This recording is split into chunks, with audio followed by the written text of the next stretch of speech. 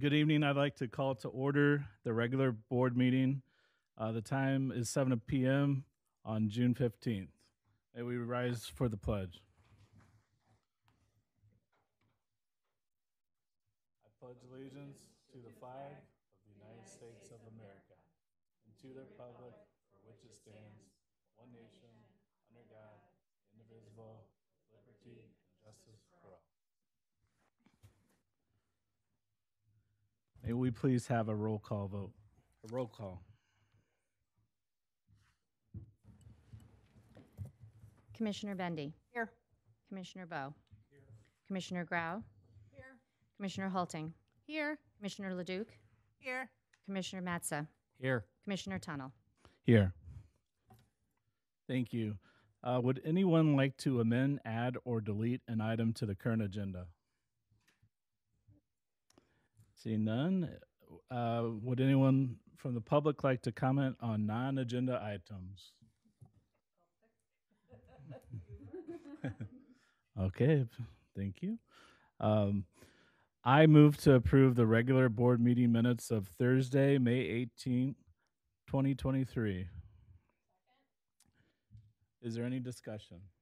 I, I had emailed uh, Mary Beth with uh, um, an edit. It's the part where I, and I already emailed it to her, so she has the verbiage, but it was the part when I asked for the audit report to be provided a little bit earlier.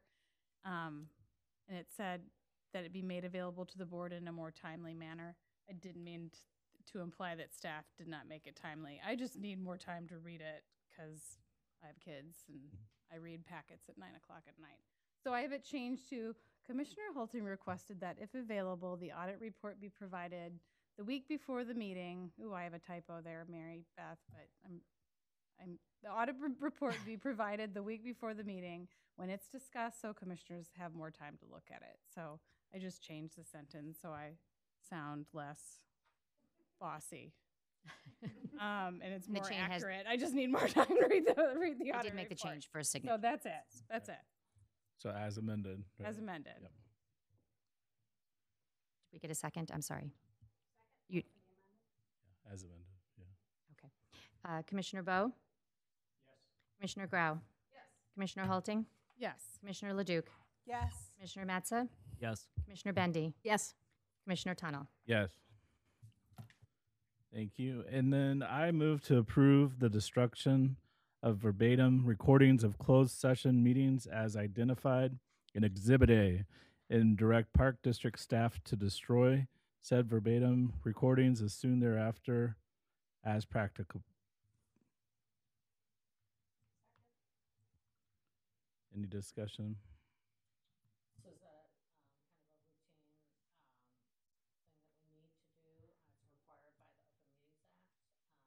we still have, so the board has to approve the minutes before we do that. So, thank you.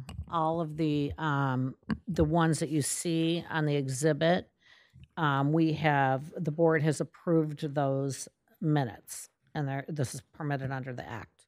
So anything I missed? Anybody ever in this? Any questions? All right, Do we have a roll call vote? Yes. Uh, Commissioner Halting?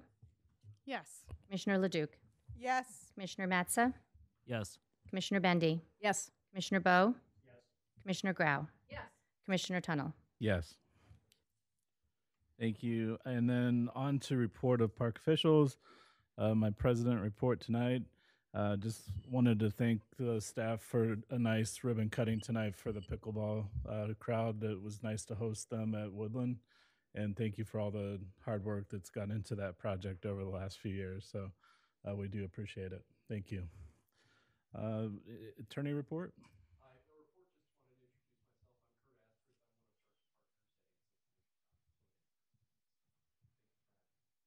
Thank you for being here. All right. So, um, just a couple overview, um, comments. I just, it's summer. So we've had quite the, uh, activity in the parks already this summer. And we've had a lot of, um, had a couple letters going out, discipline letters. We've had um, people teaching illegally in the parks. We've had a lot of action up on top of the sled hill. Um, so we have hired additional security, and um, this is a practice that we um, have worked out with. It works out very nicely with the Park Ridge Police, the off-duty police, and they take shifts, and we have um, funds in the budget for this, and then we just target the areas where the kids are going. Um, so Centennial seems to be the hot spot so far. Um, and so it's been working out. They've been out there actually just since Saturday, um, the police. So we're getting daily reports and um, it's definitely been effective. Um, so hopefully they'll get a mess- the message that um, they can't be out there after dark doing the things that they want to do. Um, so uh, camps have started this week and also the pools are open as we know. So it's been great. The staff has all worked very hard and I wanted to thank all the departments for all their work and the preparations for getting ready for the thousands of you know people in our programs and at the pools and in the parks. Um, really proud of the trainings and just the hours and hours in preparation. Um, I don't think you know people appreciate what goes on behind the scenes. I know the board does um, in, in terms of getting ready for this. So um, the numbers speak for themselves in terms of you know the the popularity of our programs and our once the weather warms up again, um, the pools. So it, it's been a great summer so far. Um, I also wanted to mention um, Marianne this evening. Um, Marianne Lucars is her um, last meeting. I can't believe it. Um, she's been with the district for 22 years. And just to thank her publicly, we'll have plenty of time um, to also thank her um, more in depth. But thank you, Marianne, for all of your um, dedication to the Park District and everything you've done um, for us. Mhm. You can s- still come to the meetings when you're bored on Thursday nights. Um, I do not have anything else. We also have the marketing report and uh, marketing and public relations and human resources. If there's any questions, I'd be happy to answer those. Or Margaret is here as well.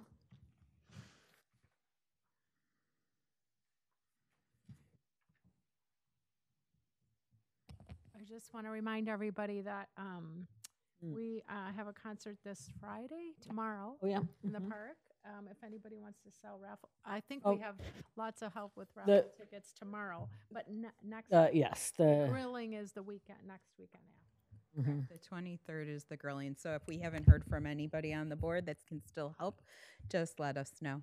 John, you're going to be there? Thank you. Give them the hamburgers. Mhm.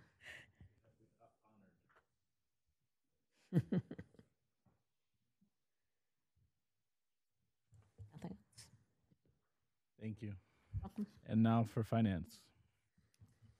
Thank you, President Tunnel. Um, We have a written finance report tonight, a monthly report, and then a couple of uh, bank resolutions, but I'll turn it over to Superintendent Larson to start us off.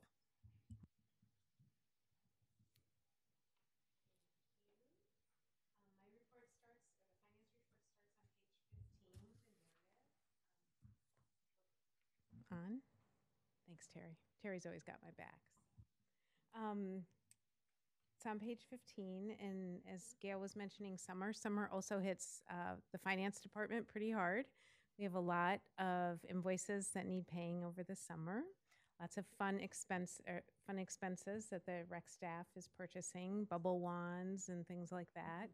Um, so it's always fun to pay invoices this time of year. We get to see what everyone's doing out in the park. We've also spent a significant amount of time training the pool cashiers. That's um, an important part of our preparation for the summer to make sure that uh, they're ready for um, their job because oftentimes the pool cashiers, this is their first job. So we want to be sure that they feel confident in what they're doing and they know that they have our support and we're there to answer any questions.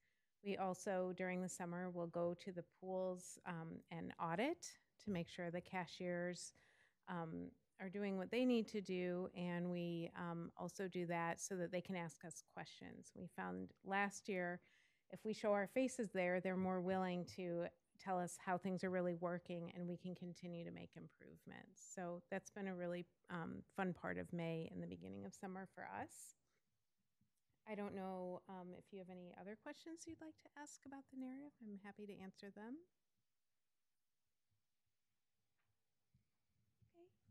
I just appreciated like the extra context that we got in here about like what was driving, like which programming was driving revenues. I just wanted to say thank you for providing that context Oh, in the report. Thank you. Well, it's good for me to kind of start digging into the numbers and, and so if you don't mind reading it, I'll keep writing it. No, so. I like it. I'm into it. Okay. we we I could usually like look and try to piece it out from the longer report, but it's nice for it to just be like summarized and put in front of my face. Great. Well, I'll keep doing that. And it's it's also I like to do that too because it's a way for us to celebrate the programs.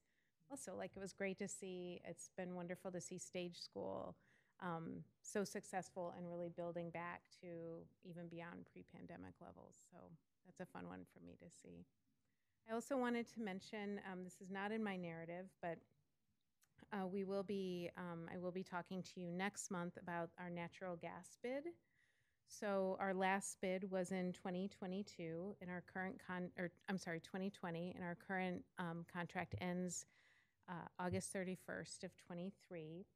Uh, this is a this is a um, simple bid. We don't need to go to an RFP. Um, so I've reached out to three companies, two of which I've heard back from. I've been asking a lot of questions because this is all new to me, also. And the plan is I'll put together um, some um, simple guidelines for them so we can compare apples to apples. And one thing that they both suggested I do is I pick one day for them to bid on because gas prices are very volatile. And if I'm comparing them on different days, it's not a true comparison. I'm also planning to, or we're planning to ask them for both um, a traditional pricing and then carbon offset pricing. Um, so we can make some decisions about that. And I learned today talking to someone that with carbon offset pricing, we can also pick a percentage of how much we want to offset. So um, I'll be able to give you more information about that. When we went to um, last did this in 2020, there were two meetings in July. So what Sandra did is do a first presentation with a um, agreement and a vote the second meeting. Um, we won't be able to do that now because we only have one meeting. But what I will do is put together a memo similar to what Sandra did for that first meeting and send it out to you so you can start looking at that and, and thinking about the process a little more. Any questions about that? Okay, great, thank you. Oh, sure.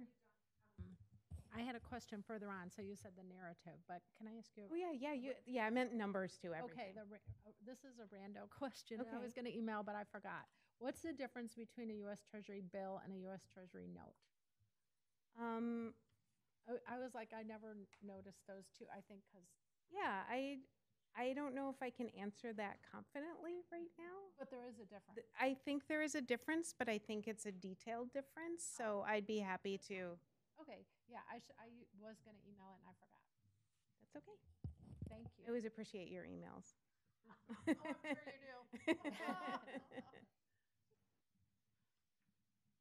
Okay, any other questions? Awesome, thanks. I'll wait up here because I know we've got some banking stuff coming up. Thank you, Su- Superintendent Larson. Um, for this, all right. Um, I move to approve the payment vouchers in the total amount of five hundred and forty-nine thousand, two hundred and fifty-seven dollars and zero seven cents. Can I have a second? Second. Thank you. Any questions or discussions about the payment vouchers? No? Okay. Mary Beth, you want to do a roll call, please? Uh, Commissioner Halting, Yes. Commissioner Leduc, Yes. Commissioner Matza, Yes. Commissioner Bendy, Yes. Commissioner Bowe, yes. Commissioner Grau, Yes. Commissioner Tunnel. Yes. Thank you.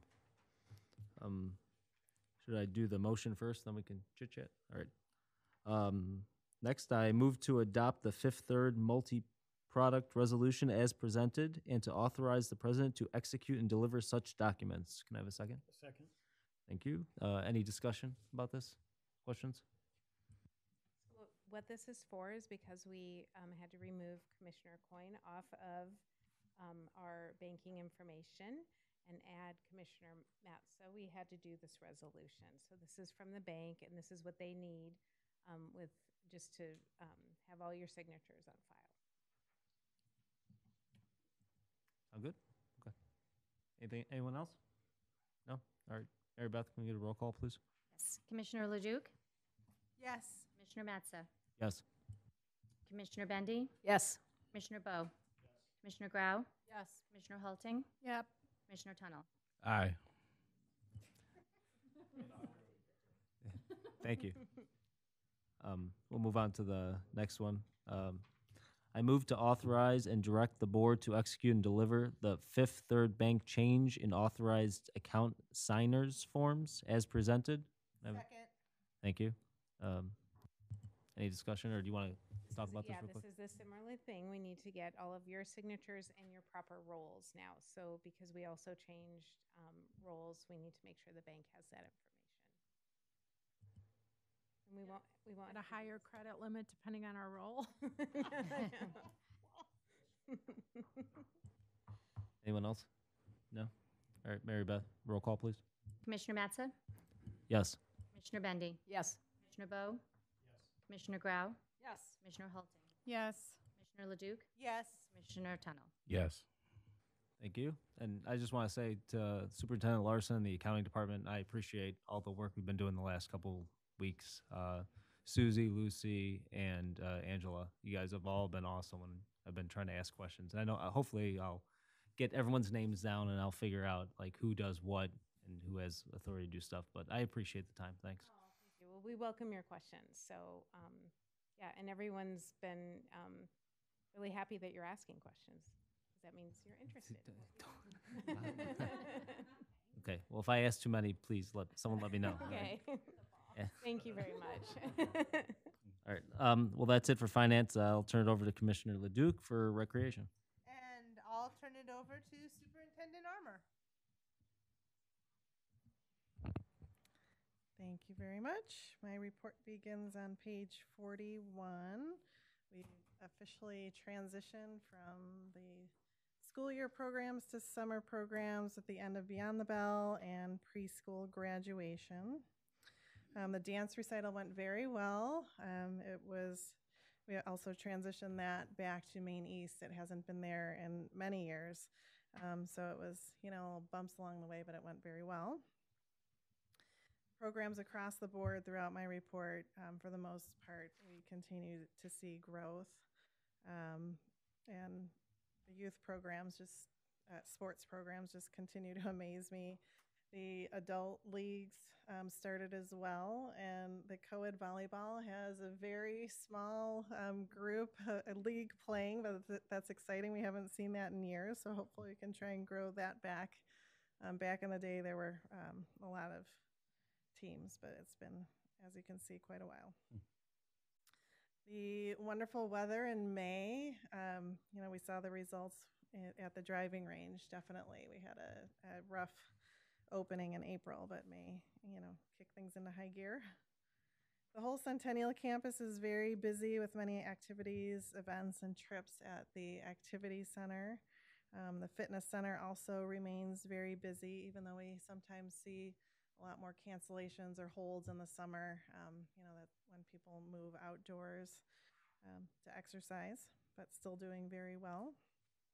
And we're creeping slowly closer to our pre pandemic membership numbers, which is great. As I already mentioned, the pools are in full swing. May was very busy with trainings and really started out with a bang with the great weather. And um, obviously, you can see with the pool pass numbers, that was when when you, we're anticipating the nice weather and opening weekend. We definitely see that um, last minute kick of um, the pool pass memberships coming through. And again, as I already mentioned, camps are in full swing starting this week. There's been a lot of trainings, parent meetings, communications, hiring up until the last minute, as um, we always do, but we are fully staffed in all areas, so that's um, very exciting. Um, we did add, I think I mentioned this last month, we were looking to add a, an additional camp at Carpenter School, so we did find enough staff to do that. Um, unfortunately, not as many people are taking advantage of it as we had hoped, but it's been offered to anyone on a wait list. Um, so that camp will start next week because we didn't have enough. Um, to, I think we only had three people for this week. So anyone on, who is on a wait list for that age group has been offered a full day camp. So we have that available. Any kids in the afternoon? I got a couple. I mean, one half day after uh, Worlds of Wonder. I'm sure my husband would be. I'm Um, yeah, so but we're we're hopefully, you know, that now that we're seeing such a growth back in participation, we'll start out with offering that camp. Um, you know, the school district has been wonderful to work with. Um, so overall, we've had a great kickoff to summer, and in addition to the concerts, I also wanted to mention the craft fair this weekend at Oakton Saturday. Luckily, the rain has pushed off, so if you want to stop by and look for some lovely gifts for Father's Day, feel free, or anything else. Um, but I'd be happy to answer any questions on the report.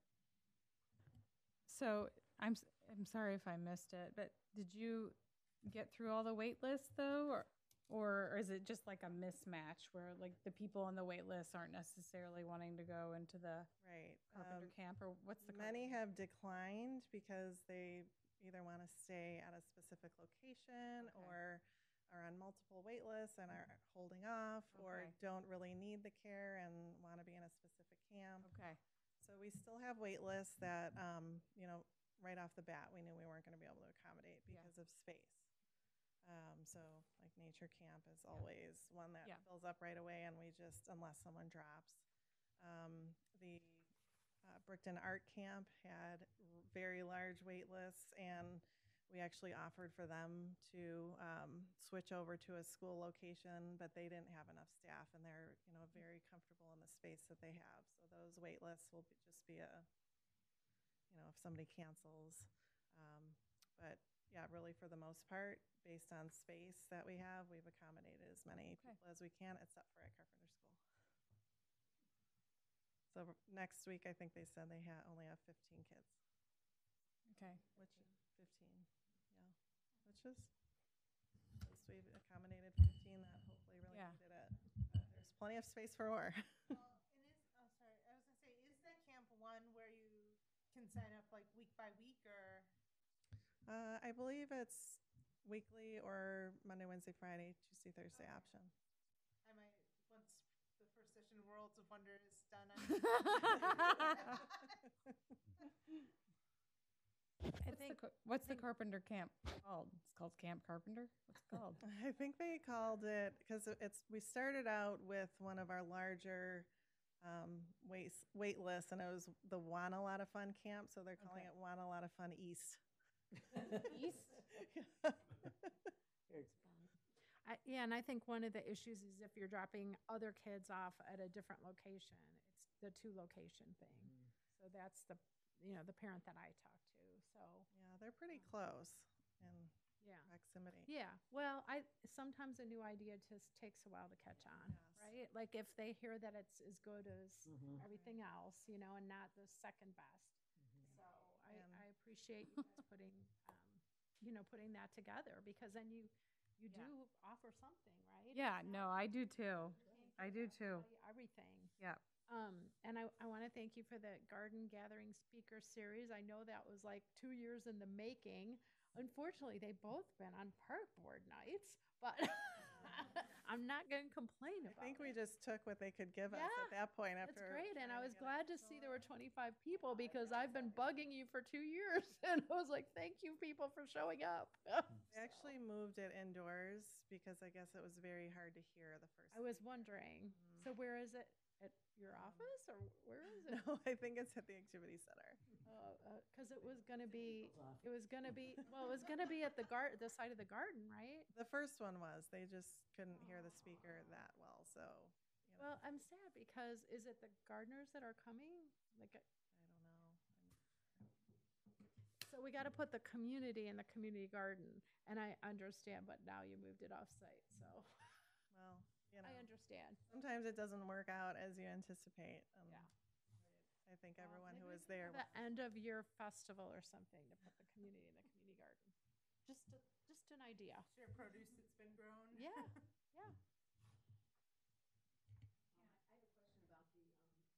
Title, um, why did it change, and was there any feedback as to pro or con on the, the switch? Um, the location that we'd been in for a few years, Right. we, we always, Maine East didn't have it available. Oh. When we were looking. Oh, they were use remodeling or something? So the Yeah, first year yeah. it switched, we found this off-site location that was kind of far, so. Yeah, um, but it was better than, you know, couldn't find anything else at the time, was my understanding and recollection. Um, and they kept increasing the prices, and the price increases would, I mean, it would have really, um, Hmm. our, the Yeah. cost of the Okay. program would have increased significantly. Yeah. So Yeah.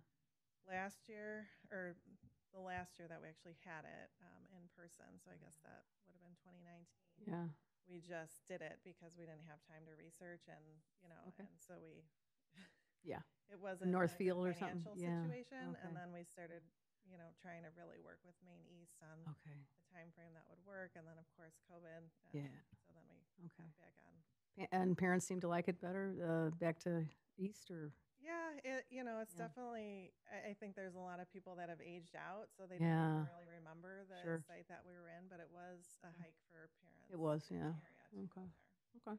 Oh, good. But yeah, I think we received Good. mostly positive feedback from Yeah. parents. There were Yeah. you know, some things behind the scenes that I think we have to work through just at a new site and Sure. getting more space Yeah. um, for, Okay.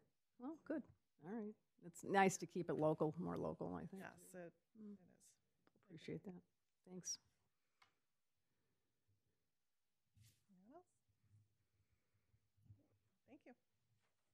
Thank you, Superintendent Armour. And with that, I'll hand it over to Commissioner Bendy for Buildings and Grounds.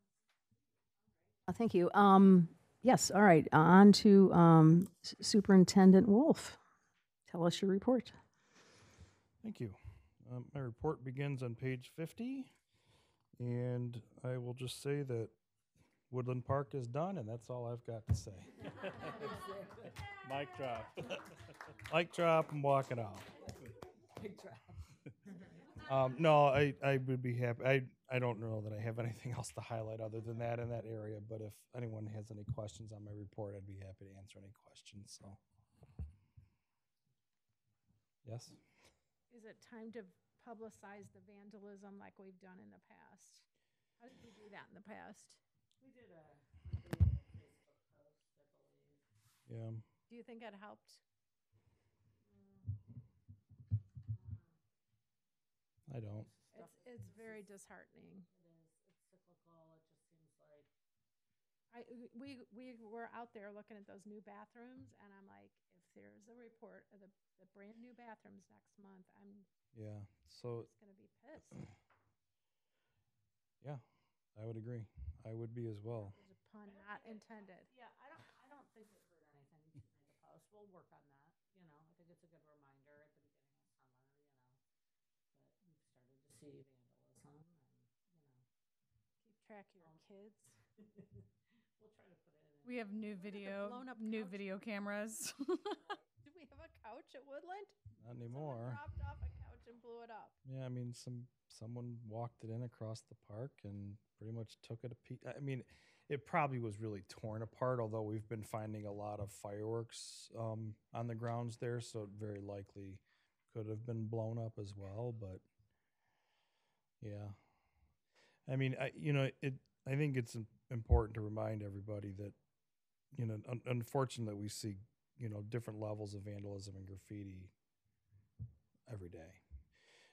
I, I put the bigger things on here, but I mean, every day someone on my team is is wiping off someone's name that was written in marker on the top of a garbage can. It's minor, or on the side of a slide at a playground. It's minor.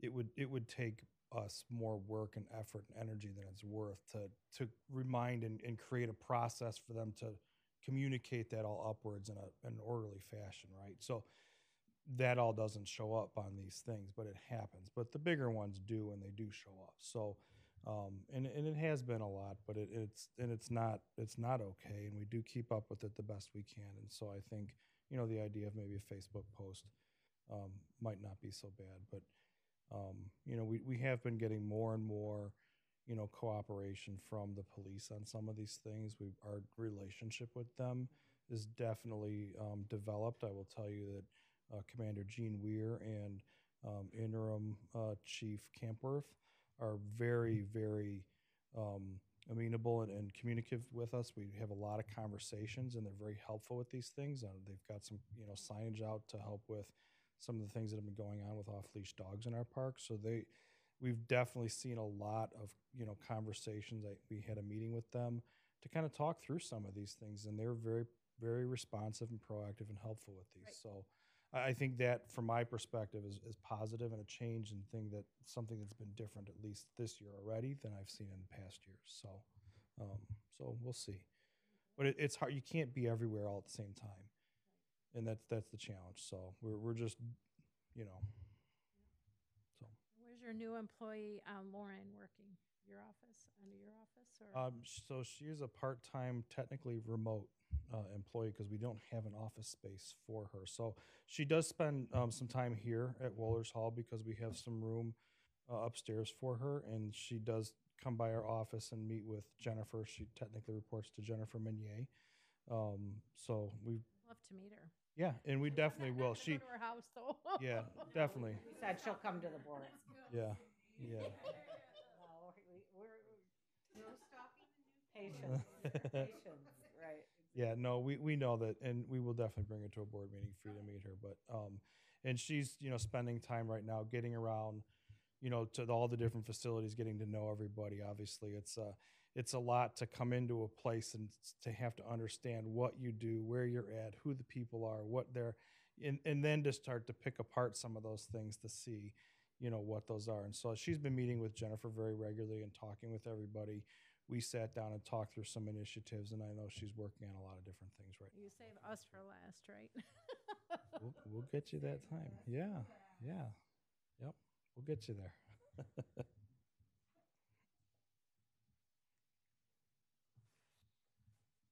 you. Any other questions on my report?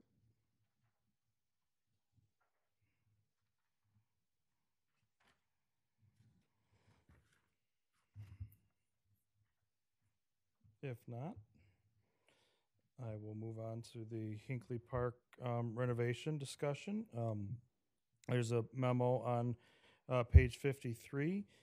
Um, Just reminding the board that we did receive a um, OSLAD grant for Hinkley Park. Um, The project is out to bid, uh, and that we do have the bid opening um, on June 26th. Um, At that point, we're going to review it for accuracy, and then we plan to have this at the board meeting in July for uh, recommend for approval if uh, the bids are all um, within our budget. Uh, We, we do want to remind everybody that when we planned out this time frame, it's, it's possible that we might not see good bids, uh, numbers. It's not always wonderful numbers at this time of year, but we wanted to see what happened and we'll adjust from there. So um, we can make those decisions as it comes up. So, um, but we wanted to give it our best effort to get that project moving and going and um, we'll be very hopeful and that we will be able to be moving forward on that project. Um, but is there any questions about that project or the scope of work or anything related to that project as we're talking about that? It's one bed. It is, yeah, one bid, yep. Yeah, it's being bid out as a, as a, um, uh, like a prime contract, so it'd be one bid for everything. It's not quite big enough to do multiple, um, prime contracts like we'll end up doing with Oakton, so. sorry. If there aren't enough bids, then you can put it off till another time in this, in the Yeah, year. So if we didn't have any bids, or even if we had one bid and the, and the the bid came in over budget, we can reject the bid. So, um, we do have that option, but it's, you know, we've had scenarios where we do get just one bid. In fact, just at our last meeting with Northeast Park, we had just one bid, but it was within budget. We checked the references. They did, you know, had good references and all that checked out, so it made sense, so. Um, and you know, part of what our architect does, um, we're working with Upland on this one, is that they're reaching out and talking to, um, you know, contractors that they work with on similar projects to to kind of drum up and generate interest in the project and let them know that this project's out there and it gets publicized in you know all the different places that these companies know to look for the work. So it really just comes down to how many contractors are out there looking for work to bid on right now, or are they too busy doing the work that there is right now. So it's kind of a balance of like how much work is in the market and how busy are they?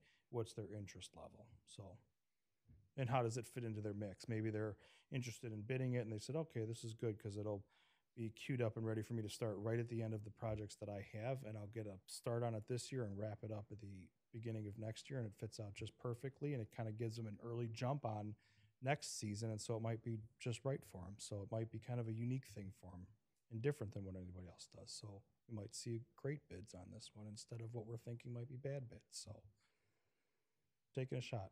So, yep. Any other questions on Hinkley Park? Um, if not, then I guess we'll move along to the South Park uh, cell tower lease agreement. Um, so the memo was on uh, page 54. Um, this is something that actually comes up every so often, and usually it, it takes up a decent amount of my time and a couple of meetings and some conversations and some of Gail's time and and other people's time. We go through some terms and negotiations, and and then somewhere it just kind of fizzles out. Um, this one didn't do that, so it's um, it actually we had some conversations, and um, it was this time was with our existing um, you know owner of um, the cell tower that we have, where they have an interested party, AT and T as it is, um, that wants to co-locate on that tower. Um, they reached out and asked if they could do that. They were looking to go into the city for uh, permits um, to move forward with this project, and uh, they needed our uh, approval as the landowner.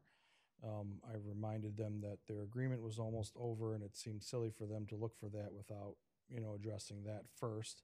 And by the way, we probably want to look at the terms of the agreement as we're looking at this. And so, you know, we started that process. Um, I did receive some guidance from uh, Ancel Glink uh, as we went through that and had a little bit of negotiation on the terms and, and met what uh, Ancel Glink said was, um, you know, favorable terms in this market for this type of agreement. So, um, which are what are, is described here below. Um, whereas the existing agreement still runs its course, but at the conclusion of the existing agreement, um, the new agreement picks up, and at that point, the escalations, instead of being based on the CPI, uh, transition over to three percent annually. Um, and then for any future tenant um, that we have, which this would start now um, with AT and T, for example, uh, we would either get forty percent of their license fee or two hundred and fifty dollars a month. And so in this situation, forty percent of the license fee happens to be more than the two hundred and fifty dollars a month. And so that's where it, um, I think I identified it as about nine hundred dollars. Yeah, about nine hundred dollars a month. So, um, so we would be seeing an increase in, in our um, monthly revenues for the project once this is, or for this site, once this project is completed. Um, plus, they were giving a courtesy fee for some of the extra work that we'll have, you know, just processing this um, going forward. Um, it's kind of a certainty thing. I know when uh, we were talking with Karen about this, their finance likes it because it's a certain revenue that comes in, you know, perpetually for, or not perpetually, but for a very long time every month. And said they're really good. They just pay the bill. it just, it's there. so, um, so I mean, the only one big difference with this, as you can see on the second, you know, page of the document, is that currently it's a stealth tower. It's used as one of the light poles for um, the Kalina baseball field at South Park, and so with the stealth tower, um, they were able to fit the the technology within the pole, so it's kind of like a monopole design. Now, with the technology they've got for uh, 5G, my understanding is that that's not really possible and so they do have to have an exterior um, array mounted onto this. Um, as you can, I mean, we already have light poles out there and, and other cell towers, especially the ones on near the, um, like the Dee Road um, train station has a couple different towers over there. Um, so it's it's not an uncommon sight. I know it's not the most attractive looking thing in the world, but it's definitely not an uncommon sight. So. Um, so that would be kind of the one, you know, biggest, you know, thing here that would be changing with that particular um, situation. So, Um, so there, and the, where this is at right now is, is I'm just having this open for discussion, uh, give the board a chance to kind of absorb this, ask any questions that you have. Uh, understand that this has, um, been reviewed on our end, uh, with Ancel Glink and internally with the Park District, and that we've, uh, given it to them. Their attorneys are, are drawing up the agreement so that it should be ready to bring back to the board for approval at the July twentieth, um, board meeting, is my understanding, so. So with that, any questions? Two questions. One, is there a carrier using it now? Yeah, um, Sprint PCS is on it. So they'll currently. continue They'll continue to use it, yes. the old technology? Mhm. Okay, and this is really out there, but I know nothing about 5G, but I know there's a person in my neighborhood who was all up in arms. There was a 5G tower near our schools. Like, is that total conspiracy stuff that people are talking about? I am not educated enough in that, uh, We should know if it's safe or not. I mean, I, I don't know that it's not, but, um, you know, we're gonna probably hear about it from somebody. We should ha- at least have an official. I, I, I've, I mean, I've been through this a couple of different times and I've been to city council meetings in the past on behalf of the park district a couple of different times. Yes. Um, for this at various different parks over my years here. And I've, I've heard all the different ranges of it and it, it, it goes from one side to the other about whether or not the cellular technology is dangerous, gonna cause cancer, or gonna do all the different things. And it, it, it, it, it kind of reminds me of a, of a crumb rubber discussion. But it's also one of those things that if you're, it's a technology that we all carry around with us as well. So I, I don't know that I'm a person that could have an opinion, and I'm not so sure that the park district would want to take an opinion on whether we think it's safe or not. But we've already had this technology in our parks for a while. Oh, we do? I don't know that. I mean, we have cellular. 5G? I don't know that it's 5G or not. If that's more or less, I'm not sure. Well, I don't think we should say we don't know that it's not safe. I mean, if the We board, yeah. We don't know?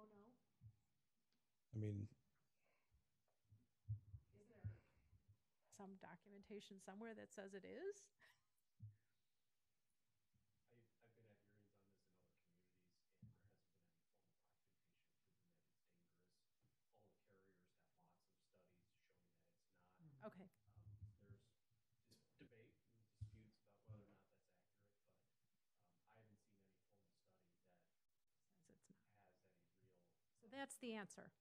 That's the answer. There is no, we have, we're not aware of any formal study proving that there's.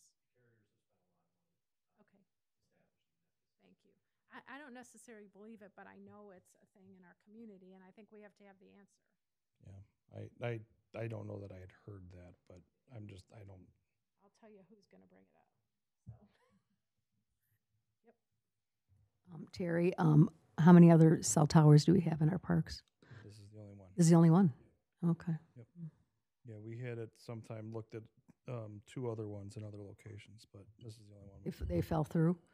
They just, they didn't ever happen. I remember, w- wasn't there one at mm, uh, Northwest for a North- while? Northeast and Centennial were both. cons- Centennial too, okay. Terry said we get approached now and then on these Okay. things, and we'll Yeah. get an, a- we'll get a Yeah. statement, you know, Mhm. such as Kurt said, we'll get that. And I, I don't think we Yeah. have to push it out. but No, if- right, if right, it right. comes Yeah, up, we'll have it available. We know what Yeah, the we have an answer answers, is. yeah, for sure. Okay, thank you. I think those, con- I think those conversations have, cal- I mean, I know they're still out there, but I think those have calmed down since the, you know, when these cell towers first came out and the expansion of them came out, you know, you heard a lot more of this, but I think people are more comfortable understanding that the studies have been done by these companies, right? They spent a lot of money on it and I mean, 5G is like, you know, normal now, right? Where before it was not. Yeah. I think the And it's particular expected. concern is that, you know, either by a school or by a park where kids are. So, um, I appreciate that. I just think we just need to have our ducks in a row. Agree, thank you. Any other questions or, yeah? A quick question. Page one, it says new uh, lease, three percent annual escalation. Page two, first paragraph says two percent. Is that because of the sublet original? or- Yeah, so that's, it's, it's, our, ours is, um, we have a three percent annual escalation, but it's two percent if the rent if we're not at the rent, so their rent will be the two percent. So the nine hundred will be two percent, but our rent is the three percent. So the three thirty-three sixty-one amount goes up by three percent. The sublet amount goes up by two percent because that's their, what their agreements are with their carriers. That, I read it right, thank you. Yeah. So We Get it- both? We we- get both? You, we get both, but so that, yeah, that, that, that actually, I had that same conversation. I was like, wait, you missed this. Anybody else?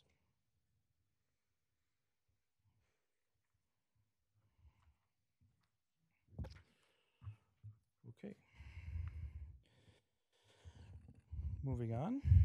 Um, the last memo here, starting on page uh, 56, um, is um, on the Oakton artificial turf uh, recommendation.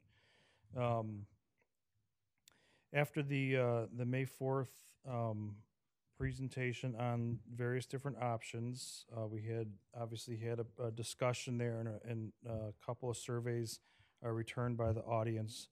Um, and at that point, um, we we kind of identified that there was two options to continue to look at a little bit. Um, the Pure Select, which was the olive um, pits, ground olive pits uh, with cool play, um, and then standard crumb rubber with cool play. Um, and looking at that and, and considering those, um, it was felt that we needed to really follow through and, and dig into those a little bit more. Uh, Gail had asked that we followed up and talked to uh, the the places that utilize those options. Um, not only the programming staff, the maintenance staff, but went and, and looked at these and um, and interacted with that. And so we we put together um, our team of staff within the Oakton project that are going to be responsible for um, those areas. And so um, a group of us went out, scheduled a day, went out and talked to and met with people out at um, Woodridge who have an indoor facility that has the crumb rubber um, with the cool play, and then went subsequently to Schaumburg who has the um, Pure Select, which is the olive core uh, with the cool play on top.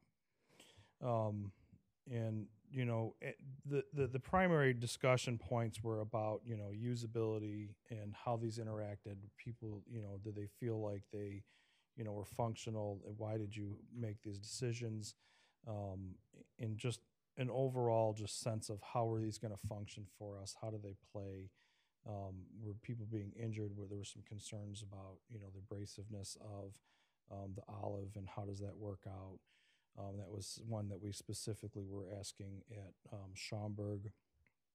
And um, what we found was that um, really there was no concerns. Um, they have not had any complaints. They've got a number of, they've got a huge complex at Olympic Park in Schaumburg. And they started the transition uh, three years ago where they took one section of fields and started to transition them to this. And so they've still got one that's the, um, the crumb rubber and they're not having any more or less injuries or issues or problems with abrasiveness um, and people getting scratched or scrapes or anything like that.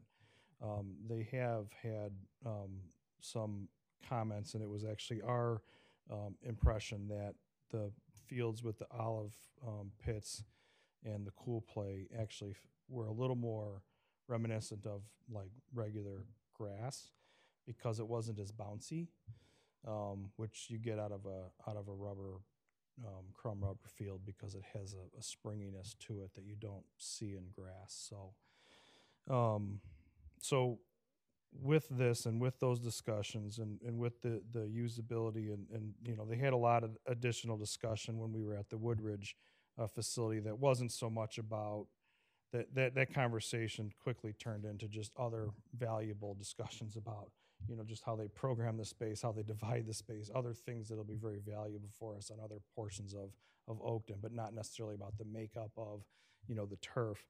Um, but we did you know have this this option to compare this um, they did say that at uh, woodridge they did have a number of um, things that they had to deal with on the front end um, with having some crumb rubber, and they they have some flyers and things out, and they do have to explain to people. Although it, it, people have gotten used to the fact that they have the crumb rubber. Um, in Schaumburg, they went away from the crumb rubber because um, they said, you know what, there's this question about whether or not that's um, you know safe for people or not, and they wanted to avoid that that issue or that concern, and so that was their perspective. That's why they didn't want to go there with the crumb rubber. Um, from our perspective, the way we kind of have been looking at this was because, you know, the olive pits are a, it's a natural product. It's a it's a little more of a sustainable option when we're looking at this whole package, um, and that we felt like this was something that, you know, might be a better fit for the community as a whole. Um, and then as we were looking into it and getting into this, the fact that it, it is a little more play, it plays a little bit more like a regular grass field, really something that we like about it. So, um, so overall, um, we are recommending uh, that we do move forward with the Pure Select, the ground olive pits with the Cool Play um, as our option for infill. Um, with that system, we do need to have an underlayment pad um, and we had two options there. Um, one is the Brock pad, which is the expanded polypropylene, uh, um, or the Thermogreen pad, which is the post-industrial polyethylene. Um, the expanded polypropylene uh, is a product that's uh, more readily recyclable, and there are um, recyclable streams and paths for that currently.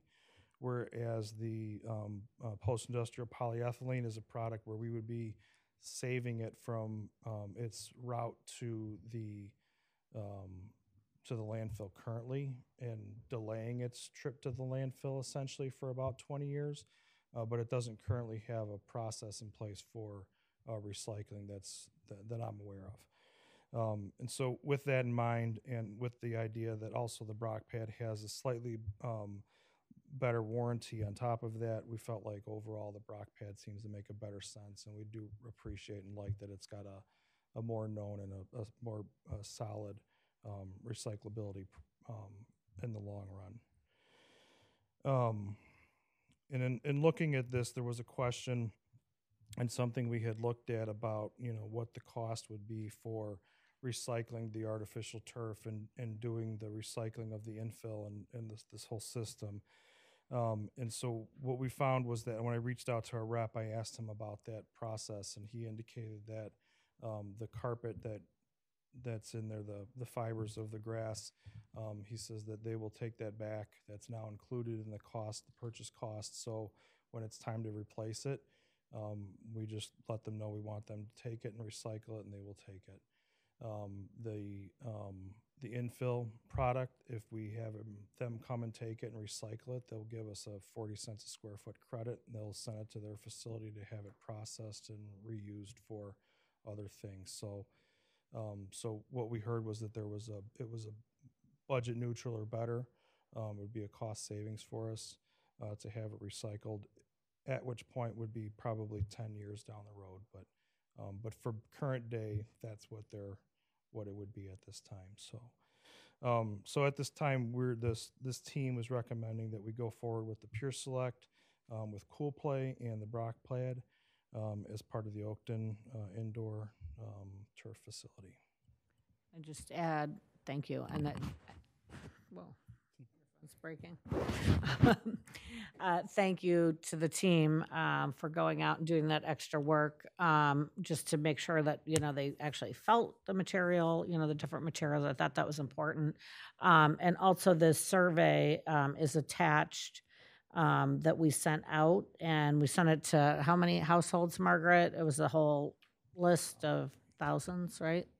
Yeah, everything we have. After the last board meeting, I looked at it. It's about 8,000 houses. So we got 77 back. Um, we were, did require people to watch the meeting. Um, but obviously, the um, preferred of those 77 that went through that process, um, 77.92% said, um, you know, that they, they watched the presentation, and then 78.13% said they're going to use the turf, and then the preferred one was the, um, you know, the one that staff is recommending, the Pure Select with the club pay, play pad. Fifty-three percent, so thought I'd also mention that. Thank you. Yeah, sure. Any questions for Terry or any of us? Thanks for being so, oh, sorry. Ladies first. Well, I, I think we're on the same wavelength where I really appreciate the extra effort the staff took to look into these options and do a deeper dig on them. And I now under, know more about this than I anticipated, but I very much like the choices you made. So thank you. You're welcome.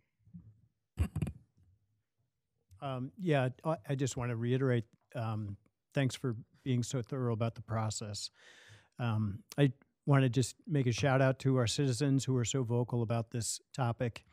You know, when we look at all of the various um, detrimental effects from the that we're having on the environment, whether you know you've got higher reported uh, instances of allergies in our schools, whether it's more asthma, um, you know, being reported amongst you know people in all age groups, um, whether you know there's just so many different things that we need to look at, and plastics is one of those, rubbers another, and this is you know obviously something that you know we uh, as members of rep- representatives of the citizens we need to be aware of these things. And it was a learning process thanks to citizens who uh, spoke and uh, wrote um, to the board. So i want to say thank you for that. Uh, while i don't necessarily think this is the best option it's better of um, than just relying on the standard um, approach that's always been uh, taken. And hopefully, we're also opening up other more environmentally friendly venues or companies that will start to look at this um, down the road. So, thanks for your attention to this and being able to bring in all of the insight from the various uh, uh, citizens of Park Ridge for this. Sure. Thanks. Happy to do so. Anything else?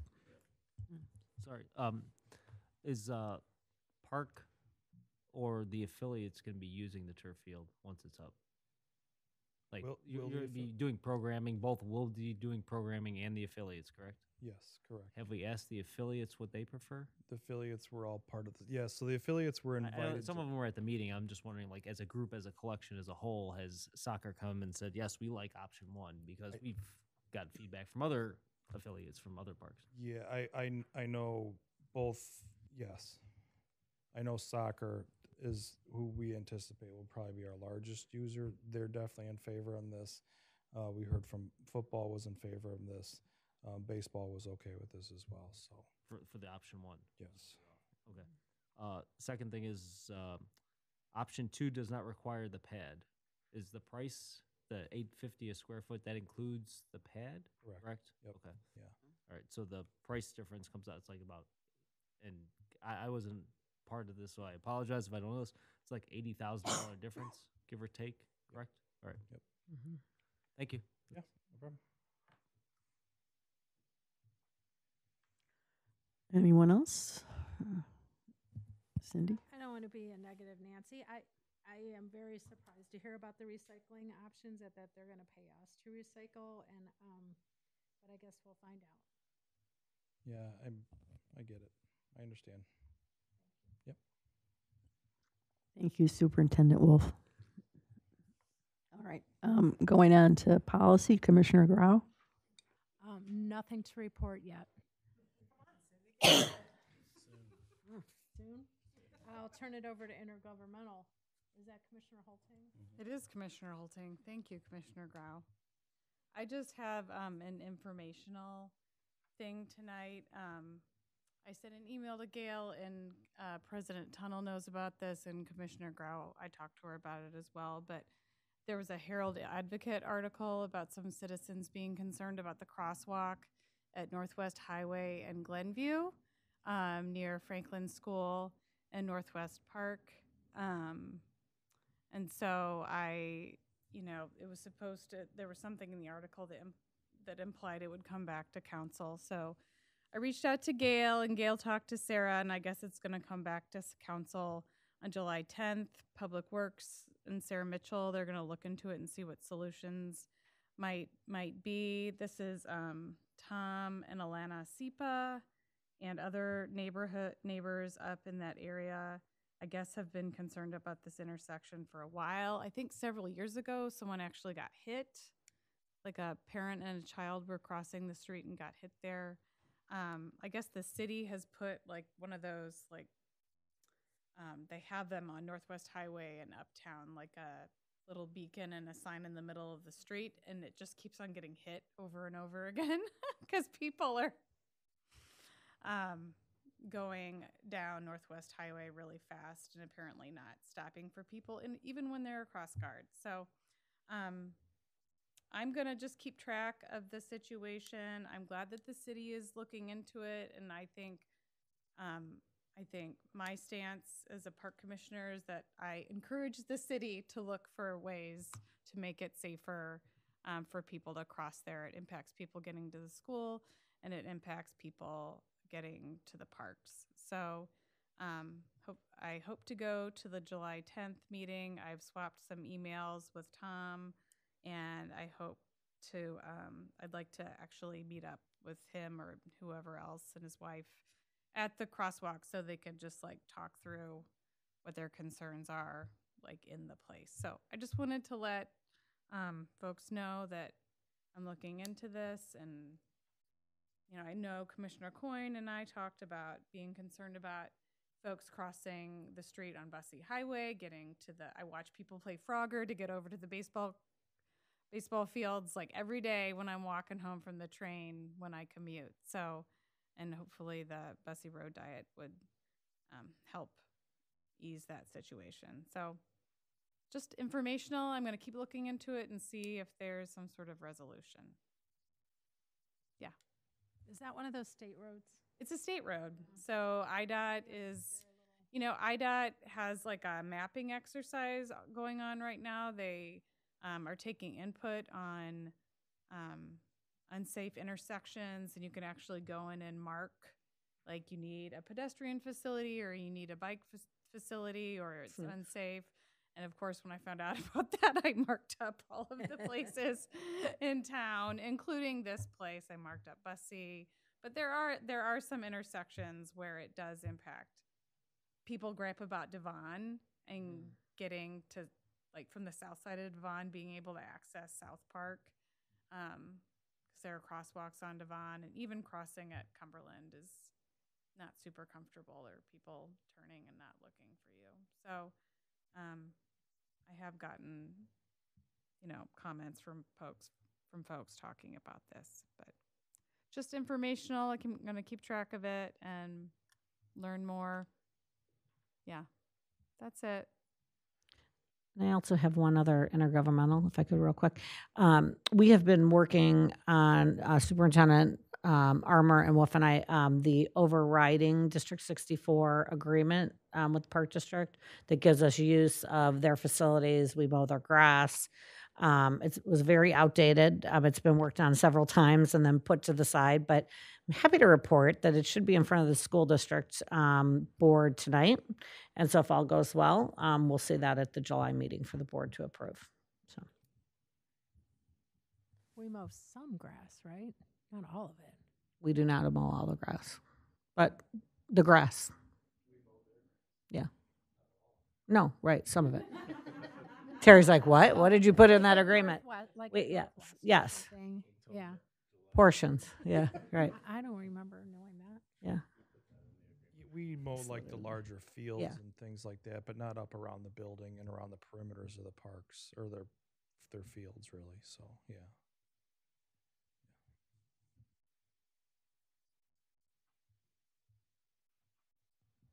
The maps will be in the agreement as an exhibit.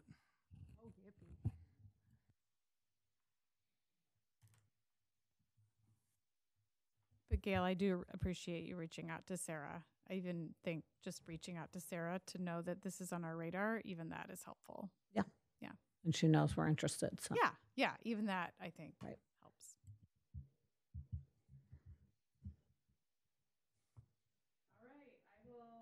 Um, Gail, do you want to take, who takes communications and correspondence? Is that you or President Tunnel? I forgot.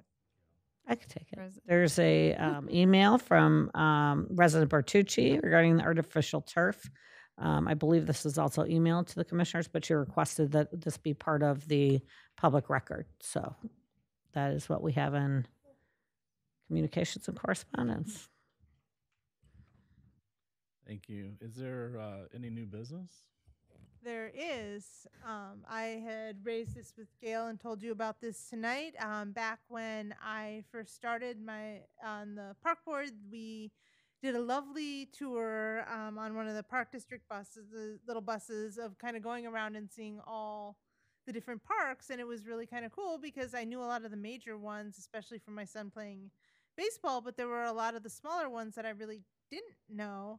And so I thought that maybe that, especially since we now have a few members of the board that were not on there. So yeah, I mean, the last time probably was about four years ago that we did that. Um, that I thought it would be nice if maybe we did another little park tour. And I said, if everybody's up for it, we will plan it. Heads up? Okay. All of them? No. Even We- that little tiny one up. Well, Well, I we, mean, like we'll take special requests, Like, but Mary- yeah. like Mary Mary Q, we just Mary Q, we just cruised by, but it was still like we didn't get out for every single one. there's 21 parks, so it depends how much time you want to spend. 138 acres. Right.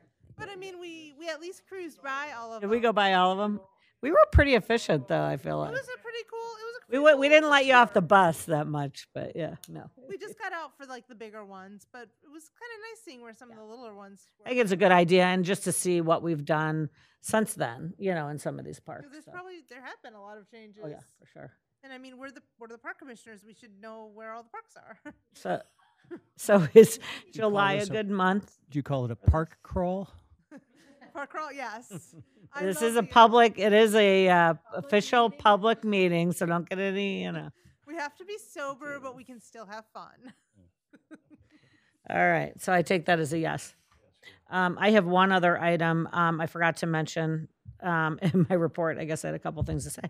Um, I, I put this in one of my Friday reports that, um, we'll be attending, um, Mary Beth and I at the IAPD efficiency webinar, um, to talk all about our nineteen-page report that we're gonna put together for, um, the efficiency, uh, how efficient we are at the Park District. My plan is after that, um, I'll consult with um, President Tunnel, but I want to get this done, and I'd like to schedule the meetings um, because the whole board has to be part of the committee. So I'll plan on doing it like right before, you know, th- this is my idea, like three of our meetings, right? So we're not doing a whole nother meeting, and I'll bring you sections of what, you know, we've put together for the report, and then the board can ask questions on it. Sound good? Can't wait, right? Does it have to be 19 pages? No, I'm, I'm being a little facetious Okay. with that. But that's, the, 18 the, to write 19 yeah. pages.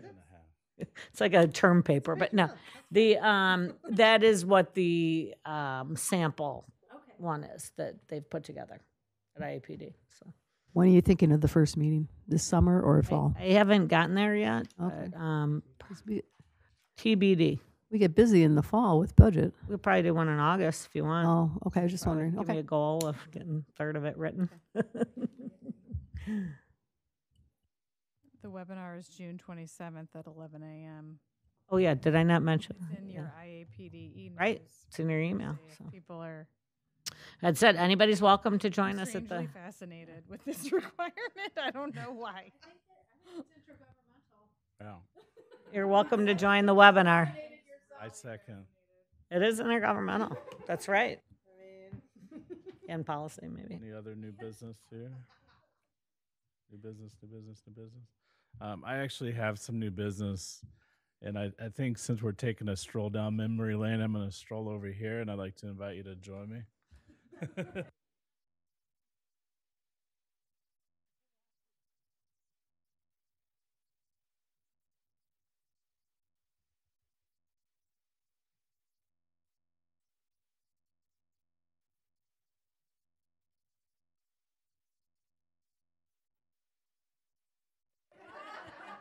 have two weeks I can do this.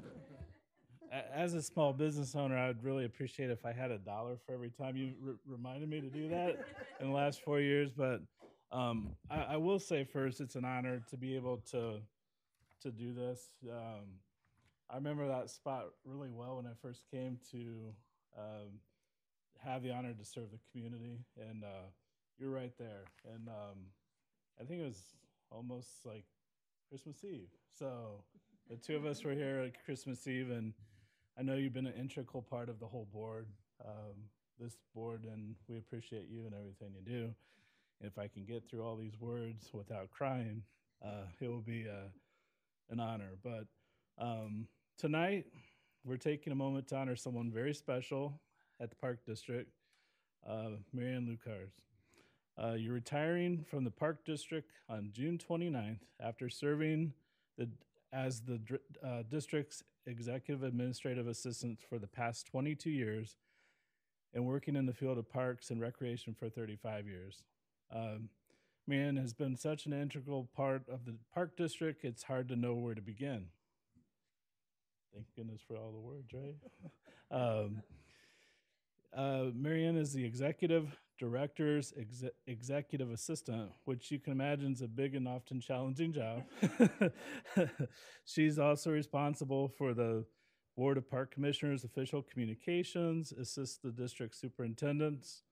Uh, to the best of our knowledge, over her 22 years uh, with the Park District, you have worked with 39 commissioners, three executive directors, and numerous other staffs. And a well known secret, you even used to have a badge, which is pretty cool.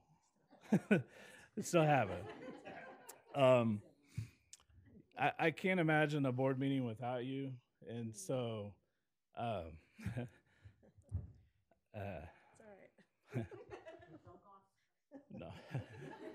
um, I'll get back to it, but um, it's going to be hard not to say, Marianne, can, can you help me out here?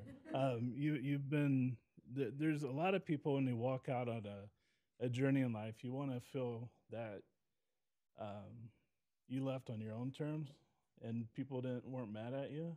I know that you're probably mad at me a lot, and you would like me to go, but you're walking away with a, a legacy, and you've helped build this park district to what it is. So, um, back to the script. Sorry.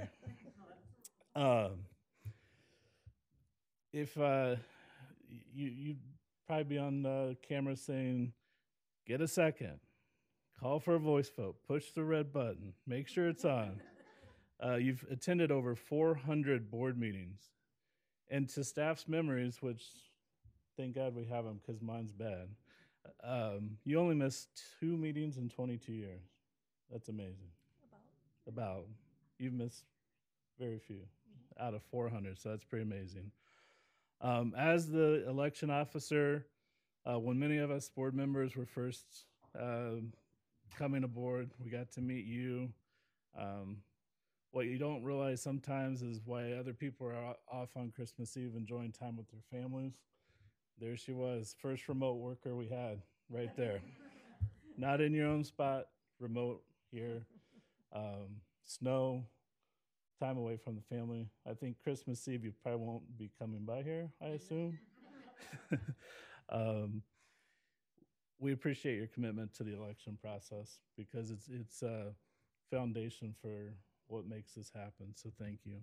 Um, you had the uh, awesome, awesome responsibility to be the district's FOIA uh, officer, which so many responses to the many requests that you received throughout the years, quite a few. Um, lots of hours, a lot of coordination with staff. So uh, thank you for that. Uh, managing the bid process for the district. Um, from time to time, we like to buy things and do things, and you've been there. Um, hundreds of bids of capital and operational improvements have fallen on your desk, and you were there. Um, in addition to the numerous requests for proposals, agreements for the district. your longevity and yeah. Yeah and i don't i mean that sincerely. That came out like uh, if i can't get through this i'm gonna cry so i'm just gonna keep going. But you're invaluable in reviewing and assisting with updating policies and agreements, including the board policy, conduct ordinance, administrative policy, and affiliate agreements. Um, when you get requests from the public, received by phone, email, or occasional drop-in, sometimes people might not be so happy. You've handled them professionally and with you represent the park district very well. Um, you always are calm, which most of the time. I mean, I've. um, You've also worked in communication with the Park District's attorney, whether it's regular board meeting topics, FOIA requests, agreements, bids, or more. To work through the issues and you help interpret the next steps. Um, chances are, if a welc- if you if, if welcoming a new staff member, um, the annual staff picnic or planning other staff members' retirement recognition as needed, uh, you help coordinate the event. Uh, you give your personal touch to each, making them memorable for those involved. We hope you're doing well with um, her retirement recognition without having to help. So hopefully you didn't have to plan the party and type this this. so um, in 22 years, you've seen a lot of change at the park district. Lots of capital proud projects, two successful referendums, numerous grants uh, board members, coworkers come and go, and through it all, you've been there. Um, while we've touched on a lot of your larger duties, it's really impossible to name everything that you've done for us. And I'm just going to end it at that. Thank you.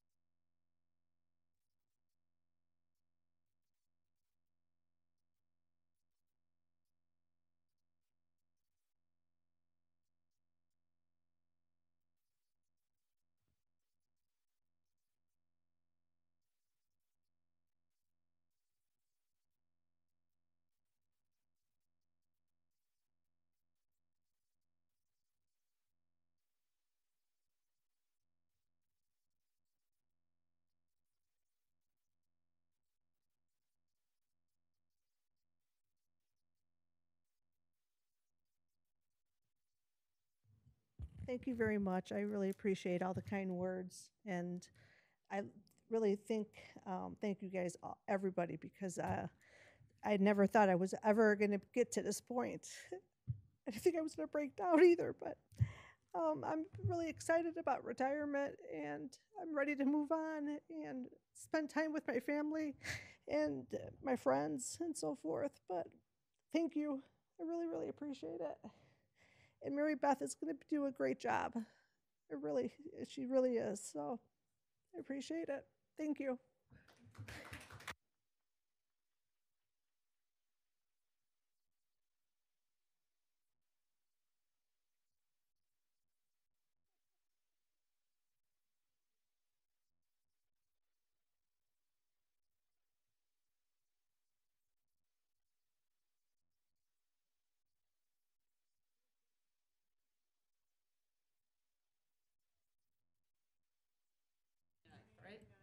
June 29th, yes, from 4 to 7. Yeah, so. And we have some light refreshments here if you can stay for some treats. Um, But uh, you do have to adjourn the meeting. If Mary Ann taught me nothing.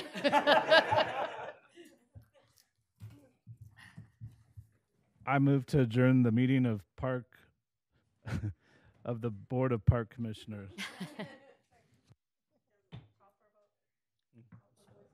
May we have it all in favor? Aye. Any opposed? Good night. We have Jennifer.